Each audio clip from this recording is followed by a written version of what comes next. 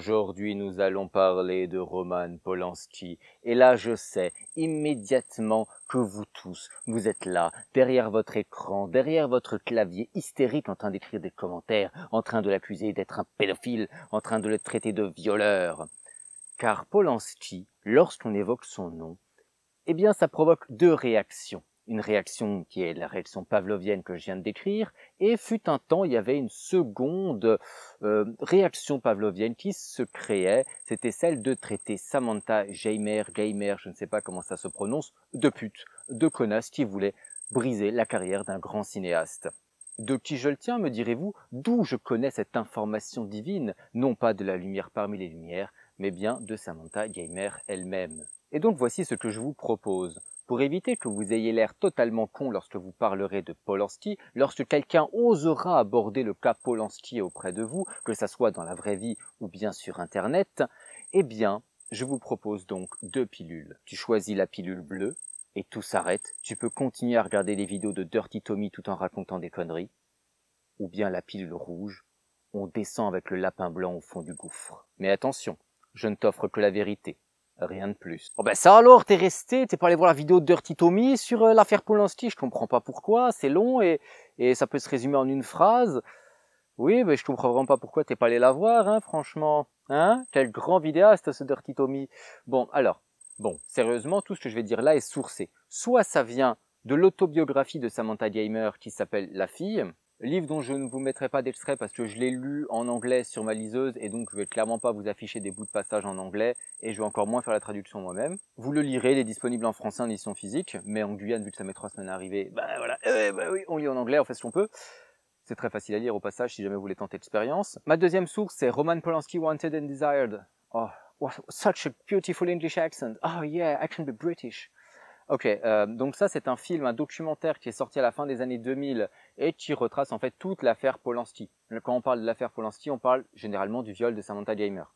Alors ce film il dure 1h30 et je vais passablement le résumer de manière assez lacunaire. Donc il bah, faut pas vous étonner si je ne suis pas aussi précis que le film. Si jamais vous voulez plus de précision, allez voir le film.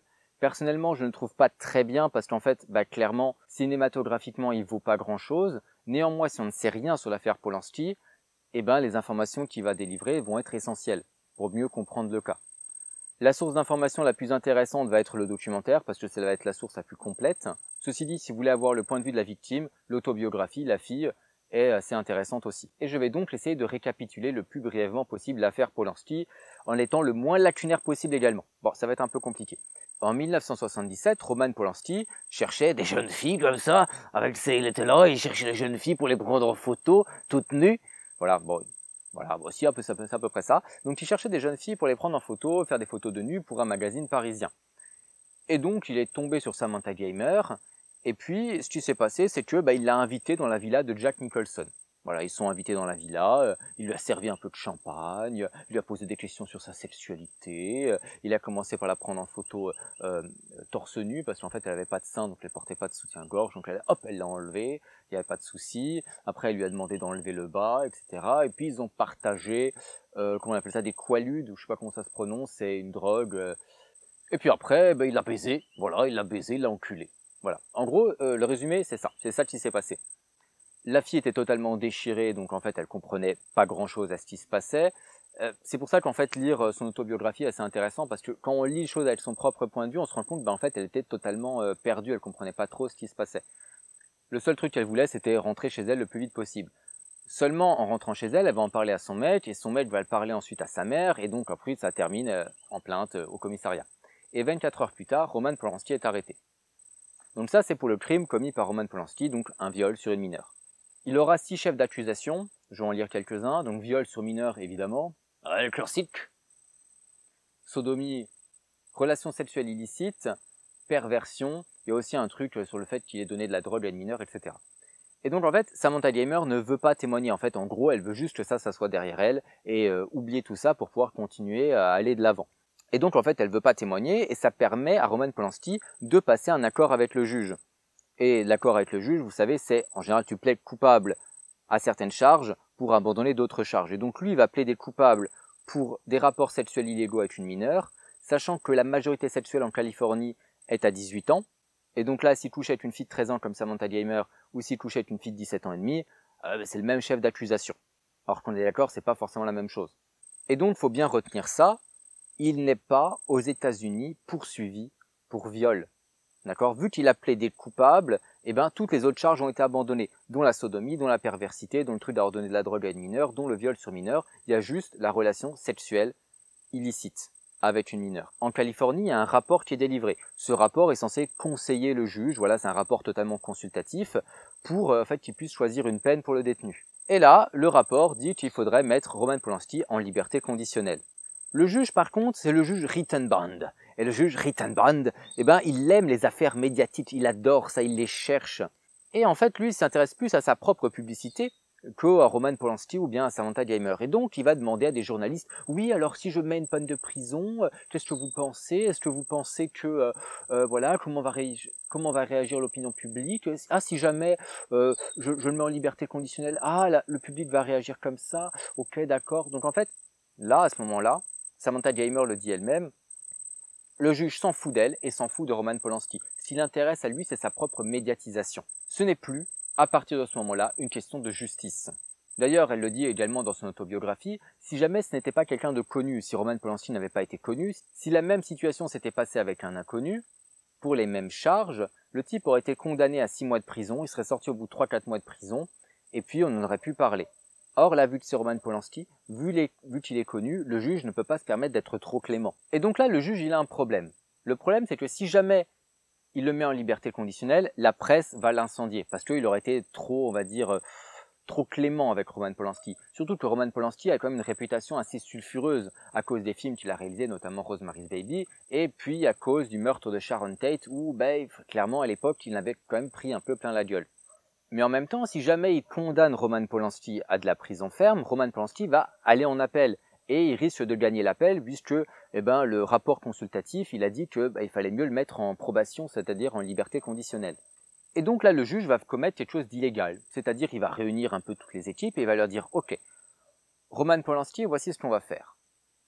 Je vais le mettre en évaluation diagnostique pendant 90 jours à la prison, et au bout de cette évaluation diagnostique, le rapport, ça va être, on le sait tous, que Roman Polanski euh, doit être mis en liberté conditionnelle et à ce moment-là, le juge va relâcher Roman Polanski et il ne sera pas condamné à de la prison. L'avantage, c'est que Roman Polanski, vu que cette évaluation diagnostique n'est pas une condamnation définitive, il ne peut pas faire appel, donc il est obligé d'aller en prison.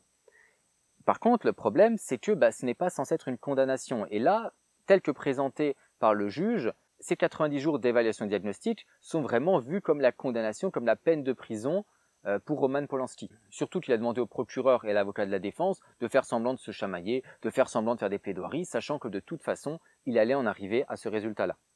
Alors avant d'aller faire ça, il allait faire un tour en Europe, il s'est fait prendre en photo à l'Oktoberfest entouré de jolies filles, et là, euh, bah, quand il est revenu, euh, le juge, eh ben, il a fait non, non, allez, tu vas en prison là maintenant. C'est fini, tu vas faire ton évaluation diagnostique. Donc tout ça pour dire qu'en fait, Roman Polanski avant de s'être enfui définitivement pour la France sans jamais retourner aux États-Unis, il avait déjà quitté les États-Unis alors qu'il était en procès. Il avait le droit de le faire et il y est retourné pour purger sa peine. Il n'y avait pas de volonté de la part de Roman Polanski de se soustraire à la justice américaine. Il faut bien comprendre qu'il s'est échappé de la justice américaine parce qu'il était victime d'une injustice. Et c'est l'injustice, c'est ce qu'on va voir là. Donc il va faire son évaluation diagnostique et il va sortir au bout de 42 jours. Et 42 jours, c'est très peu. C'est-à-dire qu'une évaluation diagnostique ne dure pas forcément 90 jours mais elle peut durer un peu moins, voilà. Mais 42 jours, ça reste extrêmement court. À la fin, il y a un rapport qui est rendu. Samantha Gamer, dans son bouquin, elle se moque un peu de ce rapport parce qu'ils disent ouais, Roman Polanski a eu un, bref moment de naïveté en pensant que blablabla, on pouvait coucher. Enfin voilà. Bref, Samantha Gamer, ça la faisait bien rire. Elle n'y croit pas trop. Mais euh, globalement, elle était d'accord avec ce rapport. Elle se disait le rapport. Et bien sûr, ce rapport disait qu'il fallait de la liberté conditionnelle pour Roman Polanski. Sauf que vous savez bien, le juge qui avait donc promis à Roman Polanski de le libérer à la fin de ses 90 jours, et eh ben il se dit ouais non mais attendez, 90 euh, jours c'est 90 jours, là 42 jours euh, ça fait peu. Et donc lui, ce qu'il aimerait faire, c'est le remettre en prison pour 48 jours, histoire que ça fasse 90 jours au total. Et donc ce qu'il fait, c'est qu'il dit, ok, il réunit tout le monde de nouveau, il lui dit, bon écoutez, voilà, là il manque 48 jours pour faire 90 jours, donc ce que je vais faire, c'est que je vais proclamer une peine indéterminée pour Roman Polanski, et puis je vais le mettre en prison pour 48 jours, et au bout de 48 jours, je le libère. Puis là, les avocats et tout, ils se regardent, ils disent non mais attendez, euh, enfin, c'est chaud parce qu'il faut, enfin, il faut vraiment que le juge soit de bonne foi, parce que si jamais il ment, il peut, Roman Polanski peut rester en prison toute sa vie. Je rappelle, c'est pas pour viol, c'est pour relation sexuelle illicite avec une mineure, ce qui n'est sensiblement pas la même chose. Et donc il y a un échange entre le procureur et l'avocat de la défense, et donc l'avocat de la défense demande au procureur, il lui fait oui, mais à ton avis, est-ce que je peux lui faire confiance? Et le procureur répond, bah ouais, je vois pas pourquoi tu lui ferais pas confiance, tu lui as déjà fait confiance une fois. Sous-entendu, j'explique pour ceux qui ne suivent pas, bah tu lui as fait confiance en disant que l'évaluation diagnostique suffirait, mais euh, tu vois, genre clairement là, il veut continuer à le mettre en prison, il n'a pas respecté sa part du contrat. Donc clairement, le juge Rittenband n'est pas fiable. Il a essayé de passer un premier accord, il ne l'a pas respecté, et c'est à ce moment-là que Roman Polanski s'est envolé pour la France. Et ensuite, tout le monde a essayé d'extrader Roman Polanski vers les États-Unis, sauf que bah il y a plusieurs petits problèmes. Il y a des accords d'extradition entre les deux pays, et pour que quelqu'un soit extradé de la France vers les États-Unis, il faut qu'il y ait eu un viol.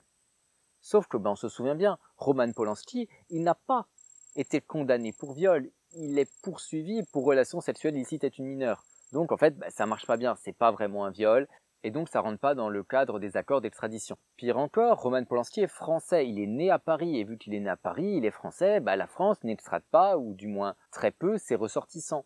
Donc là, il n'y avait aucune extradition possible. Roman Polanski était en France, il était français, il pouvait pas bouger. D'ailleurs, ce qui est assez marrant, c'est que plusieurs fois ensuite, Roman Polanski s'est fait emmerder, ils ont un peu réouvert l'affaire, notamment une fois en Suisse, où il s'était fait choper, il avait été assigné à résidence en Suisse. Et Samantha Gamer donc se pose la question, pourquoi est-ce qu'ils veulent absolument l'extrader? Je veux dire, est-ce que maintenant Roman Polanski est encore un danger public? Ben, Visiblement pas trop, il a plus de 80 ans, bon, euh, je pense que ça va aller. Mais surtout, est-ce qu'il y a de la place en prison pour accueillir Roman Polanski? Qu'est-ce qu'ils vont faire? Ils vont vider la prison pour mettre Roman Polanski? Ils vont enlever, ils vont mettre des gens dehors pour mettre Roman Polanski? Et puis surtout, est-ce que le problème de la criminalité a été réglé aux États-Unis? Est-ce que le problème de l'immigration illégale a été réglé aux États-Unis? C'est pas moi qui le dis, hein, c'est euh, Samantha Gamer. Donc en fait, pour elle, bah, le fait de mettre Polanski en prison, c'est pas la priorité. D'accord? C'est la victime qui dit ça, que mettre Polanski en prison n'est pas la priorité. Donc voilà. L'affaire Polanski, c'est ça. C'est exactement ça qui s'est passé, à peu près. C'est-à-dire qu'il y a eu un acharnement d'un juge pour des questions médiatiques, pour se faire bien voir du public, contre Roman Polanski. Un juge qui n'a pas respecté les accords qu'il avait passés et un juge qui a ensuite été destitué. Donc c'est pas juste mon avis qui dit que le juge s'est acharné, c'est que le juge a vraiment été destitué ensuite du dossier parce que bah, il faisait n'importe quoi avec l'affaire Roman Polanski. D'ailleurs, Samantha Gamer le dit, et dans le film aussi ils le disent, que les avocats de la défense et le procureur sont allés voir un nouveau juge et ont dit ok, est-ce qu'on peut essayer de faire revenir Roman Polanski et de faire appliquer l'accord qu'il y avait avec le juge Rittenbone initialement, c'est-à-dire que ok, on rouvre le procès, il est là, mais on le condamne pas à de la prison parce qu'il a déjà fait sa peine de prison à l'époque, c'est-à-dire c'est euh, c'est-à-dire son évaluation diagnostique. Il y a un juge qui a accepté, il a dit ok, il n'y a pas de souci, par contre j'aimerais que le procès il soit filmé. Et là, euh, Polanski, il n'était pas forcément d'accord. Voilà, tout ça pour dire que même si Polanski retournait aux États-Unis, il serait arrêté, il y aurait un procès, mais normalement, il ne retournerait pas en prison. D'accord? C'est juste, il aurait droit à un procès télévisé dont il ne veut pas. Donc j'espère comme ça remettre les choses un peu au clair. On n'est pas sur quelque chose du style genre ouais il s'est enfui pour fuir la justice. C'est pas ça, il s'est enfui pour fuir un juge qui avait un comportement arbitraire vis-à-vis de lui parce qu'il était connu pour le faire payer et paraître ainsi sévère aux yeux du public. Et Samantha Gamer dit ça. Je comprends qu'on puisse vouloir de la justice pour moi, mais en fait, il faudrait aussi la justice pour Polanski. C'est-à-dire que la justice, en fait, elle s'applique à tout le monde. Même si tu as violé, les règles de la justice ne sont pas arbitraires. Tu es censé les respecter, peu importe le crime que tu as commis. C'est ça d'être dans une république ou dans une démocratie. Et vous vous souvenez bien dans ma vidéo sur les violences policières, à partir du moment où on fait rentrer de l'arbitraire, admettons, on se dit oui, Polanski c'est un violeur, on peut être un peu arbitraire avec lui, on peut essayer d'être un peu violent avec lui, on peut essayer de s'acharner un peu sur lui. Si à partir du moment où c'est autorisé, à partir du moment où on peut le faire, rien n'empêche que ça se retourne contre toi et que l'arbitraire se retourne ensuite contre tous les citoyens. La justice est la justice. La justice n'est pas la vengeance de la victime. Et ça, je pense que c'est quelque chose qui est bien souvent oublié. Et donc, à chaque rebondissement dans l'affaire Polanski, à chaque fois qu'on en reparle, Samantha Gamer, elle maintenant prend la défense de Polanski. Elle explique qu'elle veut juste l'oublier, juste qu'on foute la paix à Polanski pour qu'elle, elle puisse redevenir bah, la fille normale qu'elle veut être. Après, Samantha Gamer se définit elle-même comme étant une mauvaise victime, entre guillemets, et ne voulant pas être considérée comme une victime, sachant qu'elle dit que, à la fois elle et Roman Polanski pourraient être considérés comme des victimes. Elle, la victime de Roman Polanski, et Roman Polanski, la victime du juge Rittenband. Rittenband Donc voilà, maintenant vous connaissez à peu près toute l'histoire de l'affaire Roman Polanski. On voit que ce n'est pas tout noir ou tout blanc. Certes, Roman Polanski a violé, certes, il n'aurait pas dû faire ça, mais le juge, en même temps, a été une véritable pute envers Roman Polanski. Et il a été démis de ses fonctions pour ça. De plus, Roman Polanski ne s'est pas soustrait à la justice américaine pour éviter d'aller en prison. Il était même parti en Europe, puis il est revenu pour aller faire son évaluation diagnostique il s'est substitué à l'emprise du juge Rittenbaum parce que celui-ci pouvait le garder en prison à vie de manière arbitraire. Et en plus, ils ont bien vu qu'ils ne pouvaient pas faire confiance à ce juge-là. Donc maintenant, répondons à cette fameuse question, faut-il séparer l'homme de l'artiste? Parce que, oh mon Dieu, peut-on aimer un film d'un pédophile? Et ma réponse est euh, non, il ne faut pas séparer l'homme de l'artiste. Ça fait un peu réaction de féministe comme ça, qui dirait Ouais, alors attends quand même, euh, l'artiste et l'homme, ils ont le même compte en banque, donc moi je veux pas aller voir J'accuse. Bon, là on est au niveau zéro de la réflexion, hein. on va aller un peu plus loin, d'accord On va essayer de penser un peu, voilà, on va essayer de sortir de notre crise d'hystérie que tout le monde peut avoir avec le Roman Polanski. Voilà, dans ma vidéo sur Adastra, qui est une magnifique vidéo, je vous la recommande, elle est belle. Voilà, dans ma vidéo sur Adastra, on avait expliqué ce que c'était que du cinéma d'auteur. Un auteur, c'est quelqu'un bah, qui va avoir des thématiques récurrentes et qui va les insuffler dans son cinéma. Et Polanski, bah, c'est un peu un artiste, c'est un peu un réalisateur, c'est surtout un auteur. Et donc forcément, en tant qu'auteur, il va avoir des thématiques récurrentes et surtout il va s'inspirer de sa propre vie, surtout qu'il a une vie quand même assez chargée pour faire des films. Alors le premier exemple est peut-être le plus parlant, c'est le pianiste, donc Palme d'Or et euh, Oscar du meilleur réalisateur. D'ailleurs, lorsque Chiappa dit « Oh non, je serais indigné de voir des gens applaudir un violeur, hein, quelqu'un d'accusé de viol », Bon, faut quand même savoir que là, du coup, à ce moment-là, lorsqu'on est juste accusé de viol, ça veut dire que, bah, en fait, il suffit de mettre une accusation pour qu'on interdise d'applaudir quelqu'un. Bon, ça me pose un peu problème. Mais surtout, elle était où, elle, pendant le succès du pianiste? Parce qu'il s'est fait applaudir, hein, de partout. Donc le pianiste. Le pianiste, ça raconte l'histoire d'un pianiste juif dans les ghettos de Cracovie, et il se trouve que Roman Polanski, après être né à Paris en 1937, ses parents ont eu l'idée, mais géniale, délicieuse, de repartir en Pologne à Cracovie. Ah oui, il y a des génies comme ça. Hein. Et puis il faut bien savoir que l'espérance de vie du juif euh, en 37 en Pologne dans les ghettos de Cracovie, c'était pas, pas formidable, eh, franchement, bon, c'est ça, bon, voilà. Et comme ça, et eh ben, la maman de Polanski à Auschwitz, c'est boum, plus, plus de maman Polanski, hein. plus rien. Et donc, bien évidemment, il s'est inspiré de sa propre vie. Si jamais il n'avait pas été lui-même dans les ghettos de Cracovie, il n'aurait sans doute pas fait le film de pianiste. Donc, clairement, là, on voit bien que, ben, on a un exemple de sa vie qu'il a ensuite transposé dans son œuvre. Si je prends le film J'accuse, donc son dernier film, celui qui a causé mon Dieu la polémique et qui là maintenant est nommé 12 fois au César et oh mon Dieu il y a polémique, eh bien en fait il parle bien sûr de lui dans J'accuse, mais attention, peut-être pas de la manière avec laquelle vous croyez. Donc J'accuse reprend l'affaire Dreyfus. Mon papa m'a dit qu'on disait Dreyfus parce qu'en fait euh, il vient de Mulhouse, alors on prononce à l'allemande, eh, que je reprenne pas partir Dreyfus, hein, Dreyfus. Et donc ce qui est vachement bien avec le film J'accuse, c'est qu'en fait Roman Polanski ne va pas se placer du côté de Dreyfus, il va se placer du côté du personnage joué par Jean Dujardin, qui est un antisémite notoire et qui déteste absolument Dreyfus. Et donc on a ce type-là, Jean Dujardin, qui va se mettre à enquêter sur Dreyfus, parce qu'il se dit, mon Dieu, il y a un peu anguille sous roche. Il a beau le détester, il a beau détester les juifs, il va fuiner, il va chercher pour voir quel était le problème. Et il va se rendre compte que Dreyfus était innocent.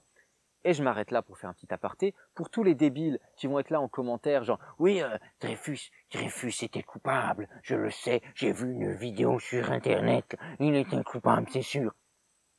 On s'en bat les couilles. On s'en bat totalement les couilles. Peut-être vous devrez créer des camps, comme ça des camps vous réunirez entre vous, vous serez là, ah oui Dreyfus, hein, ah, Dreyfus franchement était coupable, hein, c'est scandaleux, oui scandaleux, Dreyfus, franchement vous vous rendez compte, hein. Il était coupable, c'est évident qu'il était coupable, Dreyfus, mais oui, mais oui, mais tout cet immonde gauchiste comme ça, cette propagande extrême. Et puis à côté, on mettra ceux qui sont là, euh, les vaccins ils te tuent, nous on va se soigner avec du jus de betterave. Voilà, on les met tous ensemble comme ça, peut-être qu'ils vont créer des vaccins euh, contre les Dreyfusards avec, euh, je sais pas, du jus de betterave ou du jus de goyave, et puis euh, bah, ça va aller beaucoup mieux, et puis l'humanité sera très bien, et puis un jour on mettra le feu. Voilà. Non, clairement, c'est quelque chose à foutre d'une affaire qui a eu lieu il y a 120 ans pour savoir qui était coupable, qui était innocent. Et si tu penses pouvoir trouver toi des informations ou que quelqu'un sur Internet a trouvé des informations, c'est que clairement, il y a un problème. D'accord hein? Tu n'as juste pas compris comment les choses marchent. C'est pas toi ou un mec dans son coin qui va faire des recherches historiques. Je reviens à mon film. Donc dans le film, on suit Jean Dujardin. Et Jean Dujardin, il a beau détester Dreyfus, Dreyfus, il va devoir s'intéresser aux faits. Et en fait, ben moi, quand je vois le film J'accuse, je vois de la même manière par rapport à l'affaire Polanski. Je vois Polanski qui te dit, intéresse-toi aux faits, intéresse-toi à ce qui s'est vraiment passé. Et c'est ce que j'ai essayé de faire dans la première partie de cette vidéo. C'est-à-dire s'intéresser à ce qui est arrivé à Roman Polanski, quels sont les faits. Ok, peut-être qu'il a violé, sans doute qu'il a violé, certainement qu'il a violé, cependant, ça n'excuse absolument pas le comportement du juge Rittenband. Donc clairement, j'accuse, il ne l'aurait sans doute pas fait s'il n'avait pas eu toute cette affaire Polanski. Donc là, encore une fois, il s'inspire de sa vie. Un autre film où il s'inspire de sa vie, et que j'aime beaucoup, et qui est sans doute peut-être son meilleur pour moi, avec peut-être le locataire, c'est La Vénus à la fourrure. La Vénus à la fourrure, donc c'est un film qui est adapté d'un, bouquin que je n'ai pas lu, de Sacher Mazok, un truc comme ça, je sais pas comment ça se prononce. Mazok qui a donné le masochisme Voilà, donc euh, tu, tu, tu cibles un peu peut-être. Et donc en fait, ce qu'il a fait, c'est qu'il a pris euh, deux acteurs. Il a pris Mathieu Malrich, que j'aime beaucoup. Il a pris euh, sa femme Emmanuelle Seigné. Il a donné à Malrich la même coupe qu'il avait lui il y a quelques années. Donc une coupe un peu dégueulasse comme ça. Et puis voilà, et c'est parti. L'un est un metteur en scène de théâtre qui fait passer des auditions. Et là, il y a une jeune fille. Bon, elle est pas si jeune que ça. Bon, elle débarque comme ça pour passer l'audition. Et puis au début, à Malrich, il est là comme ça, il essaye un peu de prendre le pouvoir sur elle, de, l'humilier un peu, il n'est pas content d'elle. Et puis là, petit à petit, on voit cette actrice, on voit cette actrice commencer à prendre du pouvoir, à renverser les valeurs, et puis tout à coup se mettre à dominer Mathieu Amalric. Et c'est ça, le masochisme. Et là, ça en dit long sur le rapport de Roman Polanski aux femmes, sur le rapport de Roman Polanski à la sexualité. Donc clairement là, il parle également de lui. Sinon, il n'aurait pas donné la même coupe de cheveux à Malric qu'il avait lui-même. Faut être un peu sérieux. Et donc là, on se rend bien compte qu'il y avait tout ça, juste avec, prenant trois films, il est très difficile de dissocier Roman Polanski l'auteur de Roman Polanski l'homme, et qui a vécu ce qu'il a vécu, qui a fait ce qu'il a fait. Les deux sont interconnectés. Donc moi, non, je ne pense pas qu'il faille séparer l'homme de l'artiste. Pour ces raisons-là. Parce que l'homme et l'artiste, c'est la même personne, et l'un s'inspire de l'autre. Par contre, à la question est-ce qu'il faut boycotter ou est-ce qu'il faut censurer, donc j'accuse les films odieux de Roman Polanski, eh ben, Samantha Gamer dit que non. Alors moi je m'appuie sur elle parce que ben voilà, ben, je trouve qu'elle est assez pertinente. Déjà parce qu'elle est d'accord avec moi, donc moi je suis d'accord avec elle. Elle dit qu'en fait le film il fait de mal à personne. D'accord? Le film J'accuse, c'est pas un film qui a causé du mal à qui que ce soit. C'est pas un film raciste, c'est pas un film antisémite, c'est pas un film qui fait l'apologie de la pédophilie, l'apologie du viol ou quoi que ce soit. C'est un film ben, qui est un film sur une affaire euh, euh, policière, on va dire un, thriller, un thriller qui se passe dans les années 1800 euh, et puis début 1900. Par contre, elle dit que la censure, elle, elle nous affecte tous, et c'est ce qu'on va essayer de voir. Alors je tiens avant toute chose à dire là concrètement que je sépare deux cas de boycott ou de censure. Le cas de censure de boycott d'une œuvre qui poserait vraiment problème, soit parce qu'elle est raciste, soit parce qu'elle est antisémite, soit parce que, je sais pas, elle fait l'apologie de comportements bizarres, ou parce que idéologiquement on n'est vraiment pas en accord avec ce qu'elle raconte. Même si pour moi, bah, c'est ni une raison de censure, ni une raison de boycott. Moi, il n'y a rien qui m'énerve plus quand les gens sont là à dire Ah oui, non, on peut pas montrer les films de Griffiths parce que bon, quand même, il a fait euh, Naissance d'une nation et c'est quand même raciste. Hein. Comme je dis souvent, c'est ta perte, c'est pas la mienne. Il est hors de question pour moi qu'on se dise Oh oui, on va annuler une projection d'autant en porte-le-vent parce que c'est raciste. Ça me semble totalement euh, débile et un jugement absolument anachronique.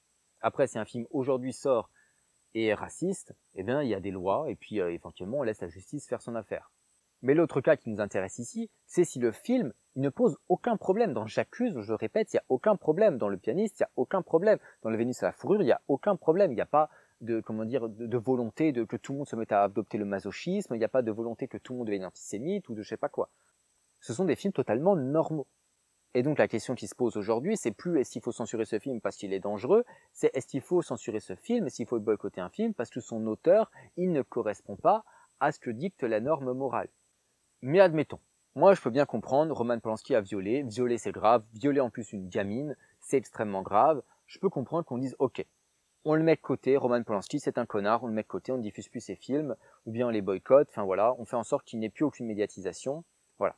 Ou bien on peut dire comme la lumière parmi les lumières qui est ici parmi nous, moi je verrai ce film si jamais il est en prison. Bon, on a bien vu que c'était pas vrai, d'accord, qu'il avait fait sa peine de prison quand bien même tous les rapports disaient qu'il méritait la liberté conditionnelle et pas la peine de prison.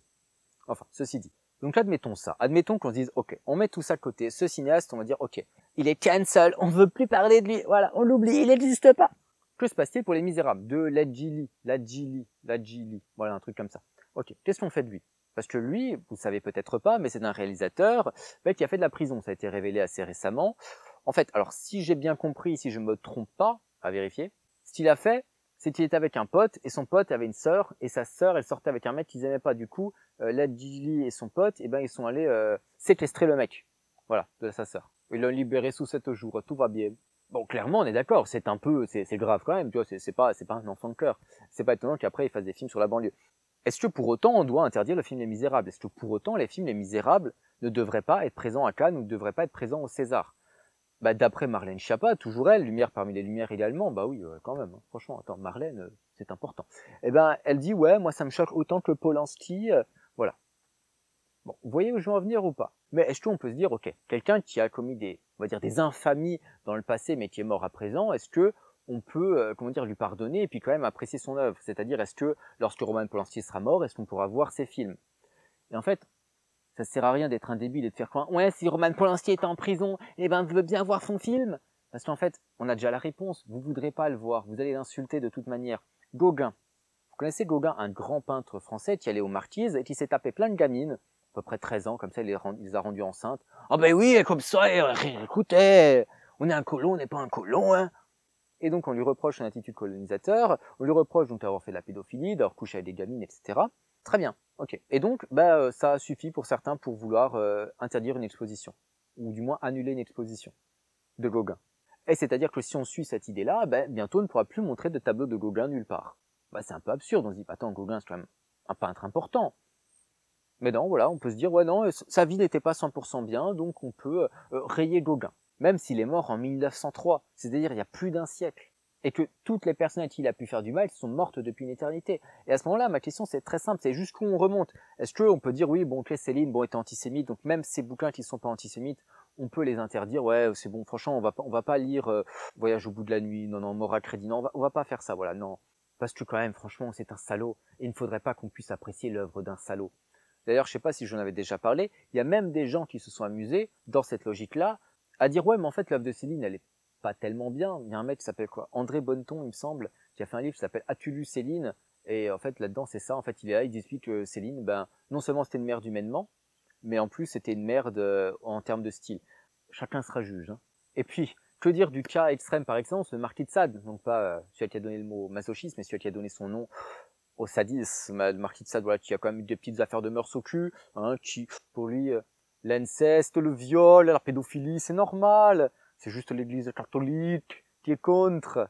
Et il faut s'émanciper de l'église catholique. Leur viol ta petite sœur. Je ne caricature pas. Voilà. Qu'on le sache, qu'on se le dise.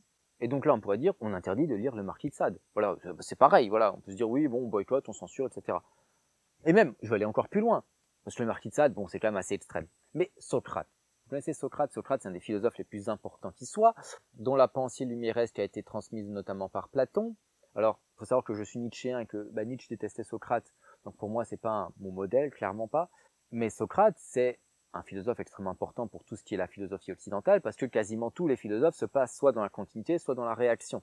Et Socrate avait euh, un péché mignon. Son péché mignon, c'est la pédérastie. C'est-à-dire qu'il aimait bien enculer des petits enfants, des petits garçons, entre 9 et, 9 et 13 ans.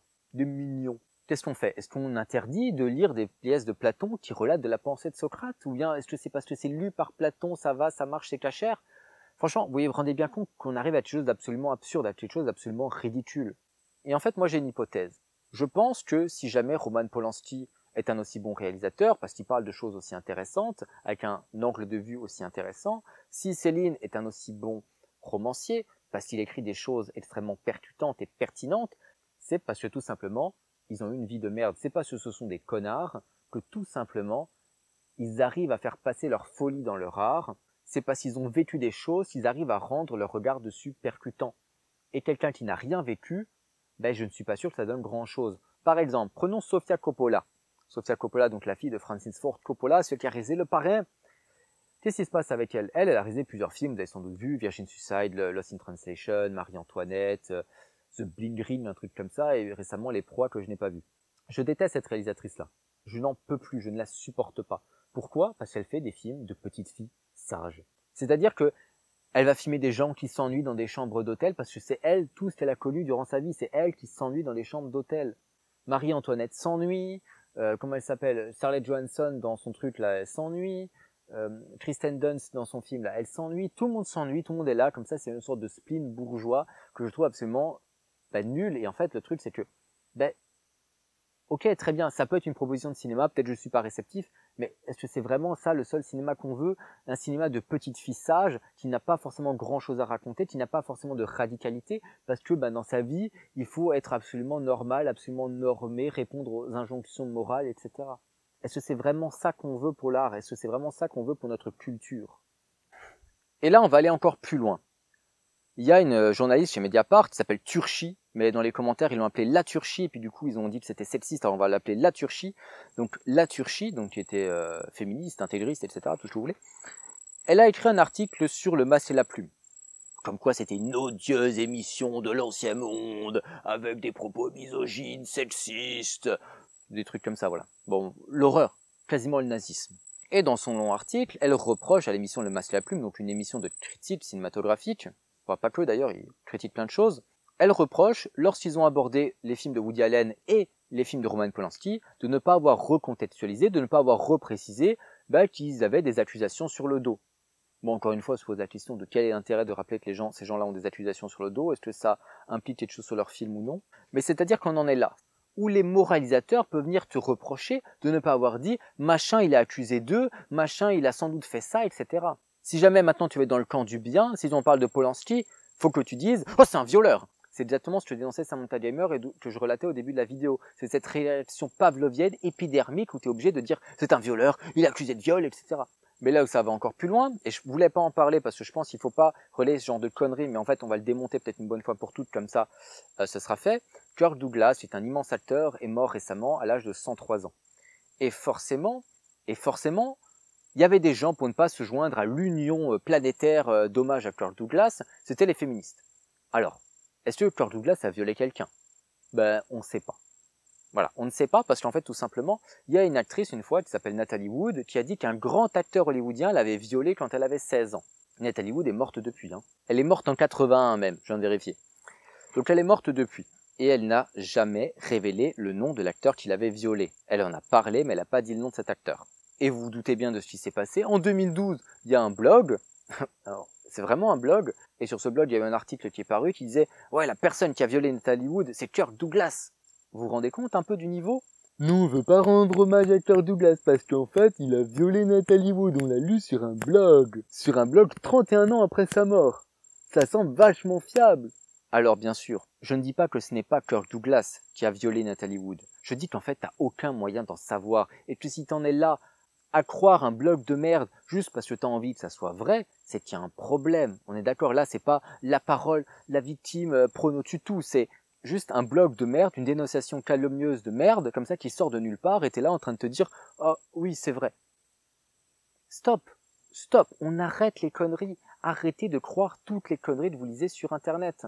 Et de la même manière, ça me fait penser à ces gens, ces rapaces comme l'Icarion Rocher, qui s'étaient rués comme ça sur Johnny Depp en disant ouais Johnny Depp, regarde mon Dieu, il bat sa femme, c'est scandaleux, il faut tuer sa carrière, il faut le foutre au RSA, on va le tabasser Johnny Depp, on va le violer. Non, pardon, pas de viol. Calme, calme, on ne fait pas la boîte Johnny Depp même s'il est très beau. Non. En toute hétérosexualité, bien entendu. Voilà, ces gens-là se sont amusés à jeter l'opprobre bah, sur Kirk Douglas, ils se sont amusés à jeter l'opprobre sur Johnny Depp, et en fait on se rend compte bah, que l'affaire de Johnny Depp était quand même bien plus ambiguë qu'elle n'y paraît. C'est-à-dire qu'on se rend quand même bien compte que sa femme, eh ben, elle lui a sans doute cassé la gueule aussi, qu'elle a chié dans son lit. Des pratiques sexuelles extrêmement saines. Et je me souviens, j'avais sorti une vidéo à l'époque pour dire qu'en fait, on ne sait pas ce qui s'est réellement passé, on ne saura jamais ce qui s'est réellement passé, et il faut arrêter parce qu'en fait, la vérité n'intéresse plus ces gens. Pas plus le droit ne les intéresse, pas plus que même la notion de justice les intéresse. La seule chose qui les intéresse, c'est leur pureté morale. C'est la pureté morale. C'est que les gens qui regardent, les gens qui écoutent, les gens qui sont autour d'eux soient purs moralement. Attention, ça n'existe pas. La pureté morale n'existe pas. Par contre, ce qui est rigolo, c'est qu'on se rend bien compte bah, que ces gens-là qui prônent comme ça une sorte d'assaise morale où il faut absolument être bon, être vertueux et à faire que des choses bonnes, des choses dans le progrès, des choses féministes, antiracistes, décolonialistes, etc. Eux, par contre, si jamais on peut harceler un fasciste, harceler quelqu'un qui peut être accusé de viol, il n'y a pas de souci. C'est-à-dire qu'on peut être la pire des merdes et se retrouver à harceler quelqu'un, juste parce qu'on n'est pas d'accord avec lui, juste parce qu'il a tenu des propos qu'on n'aime pas, etc. C'est-à-dire qu'ils n'ont même pas la vertu dont il se part. Et là, je pourrais reciter Gustave Le Bon. La foule veut encore la même exagération dans les sentiments de ses héros. Et là, je pense que héros, on peut mettre les réalisateurs, les acteurs, les personnes qu'ils admirent. Leurs qualités leurs vertus apparentes doivent toujours être amplifiées. On a très justement remarqué qu'au théâtre, la foule exige du héros de la pièce des qualités de courage, de moralité, de vertu, qui ne sont jamais pratiquées dans la vie. Ça, c'est dans Psychologie des foules. Et donc là, on se rend bien compte du problème. Le problème est simple. Le problème, c'est qu'on a des gens qui vont se mettre à exiger des vertus de la part bah, de tout le monde, tout le monde qui est un peu connu, c'est-à-dire bah, des artistes, c'est-à-dire des acteurs, c'est-à-dire des personnes qui sont un peu connues sur les réseaux sociaux, et même des politiques. Quoique les politiques, c'est peut-être normal. Je ne sais pas. Tandis que eux ne sont pas vertueux pour un sou, eux se permettent toutes les pires crasses, toutes les pires saloperies. Parce qu'on va être d'accord, s'acharner sur quelqu'un avec qui tu n'es pas d'accord, vouloir bah, qu'il se fasse harceler, vouloir qu'il se fasse virer de son travail, bah, c'est pas, comment dire, bah, je ne trouve pas que ça soit très vertueux. Au contraire, ça pue le ressentiment, ça pue la vengeance basse et mesquine. Et ça, Nietzsche n'approuve pas. Non, non, pour Nietzsche, ça c'est des affaires de femmes. Sexiste le petit Nietzsche. Mais tout ça me fait penser à un truc. Très clair, très simple, ça s'appelle la révolution culturelle. Vous connaissez la révolution culturelle? C'était en Chine sous Mao. Oh, ça allait vachement bien la révolution culturelle. C'est-à-dire qu'ils ont trouvé une œuvre, un prétexte, pour dire bon, voilà, on va quand même, tout ça c'est un peu petit bourgeois, c'est un peu de la merde, c'est un peu des critiques, donc on va, on va, on va purger. Hein, on va se purger des de. Donc euh, les vieilles idées ça dégage, la vieille culture ça dégage, les vieilles coutumes ça dégage, et les vieilles habitudes, hein, ça va finir par dégager également. Hein, voilà comme ils disent, voilà, euh, du passé, faisons table rase. Et oui, et oui, et oui, je suis, euh, je peux faire la, la, nouvelle star, moi. Et oui. Et vous allez me dire que j'exagère en disant, ouais, du passé, faisons table rase, etc. Mais non, parce qu'en fait, on a vu ça passer récemment également. L'université de Yale a, comment dire, euh, enlevé un cours d'introduction à l'histoire de l'art parce que ce cours était soi-disant trop blanc, hétérocentré, blablabla. Bla bla bla. Et mon cul, c'est du poulet. C'est-à-dire qu'il y a vraiment une volonté totale de se débarrasser du passé de changer ce passé-là et de le faire correspondre à des idéaux plus actuels. Et là, je suis désolé, je suis obligé de citer George Orwell. George Orwell, dans 1984, il disait ça. Il disait que celui qui contrôle le passé contrôle le futur et celui qui contrôle le présent contrôle le passé. Et là, on se rend bien compte que sa citation est incroyablement vraie et pertinente. Aujourd'hui, qui contrôle le présent dans les universités? Bah, ça va être des progressistes, des gauchistes, etc. Eux, qu'est-ce qu'ils font? Ils peuvent contrôler ce qu'on enseigne, ils peuvent contrôler le passé pour ensuite pouvoir contrôler le futur, pouvoir contrôler l'avenir, contrôler ce qui va en être fait. Il y a une volonté de faire taire le passé, de faire taire tout ce qui est tradition. Et là, peut-être naïvement, certains vont me dire, oui, mais il y a un garde-fou, c'est-à-dire que on peut dire que Polanski est un pédophile, donc on va pas voir ses films, on va pas voir ses œuvres, même on peut le censurer pour ça, dire qu'il n'aura pas de César pour ça. Ok, très bien, mais on a bien vu que c'était pas vrai, que ça s'arrêtera pas là, parce qu'ensuite il y a Ladjili, là, donc le réalisateur des Misérables, lui aussi peut être condamné vu qu'il a aidé quelqu'un à, séquestrer quelqu'un. Et puis on a bien vu que ça n'arrête pas les militants pour interdire Gauguin. Pour même certains s'amusent à dire que Victor Hugo était raciste et donc il faudrait pas étudier Victor Hugo à l'école. Et c'est bien ce dont je parle. On essaye de remplacer toutes les vieilleries, on les purge, voilà, toutes les vieilleries, les vieilles idées, les vieux penseurs, les vieux machins. Comment dire, Victor Hugo est on ne peut plus de gauche. Voilà, il a tenu une fois un propos qui sera jugé problématique. D'ailleurs, problématique, arrêtez d'utiliser ce mot de la sorte, parce qu'en fait, problématique, si on regarde dire, ne pas dire l'Académie française, qui est la seule institution capable de dire qu'est-ce qu'il faut dire et qu'est-ce qu'il ne faut pas dire dans la France authentique, eh ben, elle dit que, bah voilà, problématique, c'est dans une dissertation et que, bah, problématique comme ça, bah, ça ne veut rien dire. C'est un peu prétentieux même. Faudrait dire euh, problème, qui pose problème, hein. Voilà, c'est mieux, n'est-ce pas? Et pour prouver qu'il veut faire table rase du passé, il y a une prof à l'université de je sais pas où de mon cul qui s'appelle Iris Bay qui a écrit un bouquin euh, je sais pas quoi le regard féminin à l'écran un truc comme ça je sais pas quoi c'est de la merde je vais l'afficher quelque part par là que je vais peut-être lire histoire de faire une vidéo dessus parce que ça a l'air clairement d'être la merde il y avait des extraits dans Mediapart c'était juste scandaleusement débile d'accord mais vraiment scandaleusement débile donc peut-être qu'on va en parler. Et donc cette Iris Bay elle a fait une interview euh, pour Allociné et dans lequel elle se plaint que, oh mon Dieu, il y a un vieux monde qui affronte le nouveau monde, il y a le vieux monde qui veut récompenser Polanski au César, et il y a le nouveau monde qui veut récompenser Adèle Haenel. Alors déjà, Adèle Haenel, c'est l'actrice qui avait récemment accusé un réalisateur d'un de ses premiers films, donc quand elle était enfant, d'avoir eu un comportement sexuellement déplacé avec elle. Et en fait, bon, là, si moi, ce que je comprends en lisant ça, c'est très clairement que Iris Bey veut ériger en, vainqueur euh, les victimes. Sauf que les Césars, c'est pas ça. C'est pas ériger en vainqueur les victimes. Les Césars, c'est récompenser euh, les meilleurs acteurs, les meilleurs réalisateurs, etc. Alors, bien sûr qu'il y a la politique, bien sûr que c'est partisan, mais clairement, tu peux difficilement mettre de côté Polanski, qui est un des meilleurs réalisateurs français, pour ensuite porter au nu euh, Adèle Haenel parce que c'est une victime, sachant que dans la même année, il y a plein d'autres actrices qui ont été meilleures qu'elle, notamment sa compagne à l'écran, Noémie Merlan, qui était vraiment fabuleuse dans le portrait de la jeune fille en feu, et bien plus que Adèle Haenel. Et donc là, tu comprends, on te vend cette opposition entre deux générations. Et ma question, c'est toujours la même il sera où le garde-fou après? Une fois que, on va dire, l'arrière-garde réactionnaire et fasciste des vieux hommes mal blancs, hétéro cisgenres, sera mort et enterré, qui sera le garde-fou Parce qu'en fait, je vais vous lire un truc. Récemment, j'ai lu ça de la Révolution de Hannah Arendt, c'est vachement intéressant. Après, il faut peut-être un tout petit peu nuancer parce que bah, c'est Hannah Arendt qui l'a écrit pendant la guerre froide et donc elle est clairement du côté occidental et anti-marxiste. Mais euh, voilà. Elle lit ça. Ce n'est pas seulement dans la Révolution française mais dans toutes celles qui s'en inspirèrent que l'intérêt commun est apparu sous la forme de l'ennemi commun. Et la théorie de la terreur, de Robespierre à Lénine et Staline présuppose que l'intérêt de tous doit automatiquement et en permanence s'opposer à l'intérêt particulier des citoyens. On a souvent été frappé de ce singulier oubli de soi chez les révolutionnaristes qu'il ne faut pas confondre avec l'idéalisme ou l'héroïsme. La vertu a bien été identifiée à cet oubli de soi depuis que Robespierre a prêché une conception de la vertu empruntée à Rousseau, et cette équation qui a, si j'ose dire, marqué de son sceau indélébile l'homme révolutionnaire et sa conviction la plus profonde que la valeur d'une politique se mesure à son opposition à tous les intérêts particuliers, de même que la valeur d'un homme peut être jugée au fait qu'il agit contre ses propres intérêts et contre sa volonté propre. Si j'ai lu cet extrait, c'est avant tout pour vous montrer une chose, pour vous dire que le verre est dans la pomme. Il y aura forcément des gens qui vont aller plus loin. Et c'est parce que Rousseau a commencé à dire bah, que, en fait, finalement, il faudrait pas penser à soi, mais il faudrait penser à l'intérêt collectif, et même que l'intérêt collectif s'érige contre l'intérêt personnel, que, bah, en fait, on arrive ensuite à Robespierre et la terreur, où il a fallu, comme ça, lutter contre les intérêts personnels absolument, et la même idéologie qui a ensuite entraîné le léninisme et le stalinisme, avec toutes les dérives qui vont avec. Ce que je veux dire, c'est ça.